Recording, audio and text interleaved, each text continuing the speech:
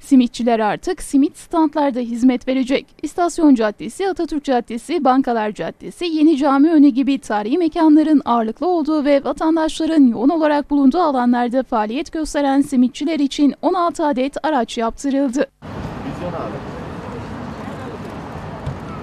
Sivas caddelerinde yeni standlarla yerlerini alan simitçiler tarihi dokuya uygun olarak yaptırılan yeni arabalarından memnun olduklarını dile getirdi. Ee, Bunun hakkında e, emeğe geçen herkese teşekkür ediyoruz. Öncelikle belediye başkanımıza. Hijyenik ve düzenli bir ortamda oldu. Şimdi almayan almayan bilene alacak simidi. Şimdi niye dersen biraz tereddütte kalıyordu pandemi sürecince. Biraz da o zaman e, dışarıda sokaklarda satıyorduk. Toz moz oluyordu. Şimdi böyle olmasıyla hijyenik ve kültürel e, zaten kazan simidimiz kültürel bir simidimizdir. Onun için de standartımız da aynı tarihe kültürele uygun yapıldı. Zaten e, Selçuk amblemi, amblemi falan da var.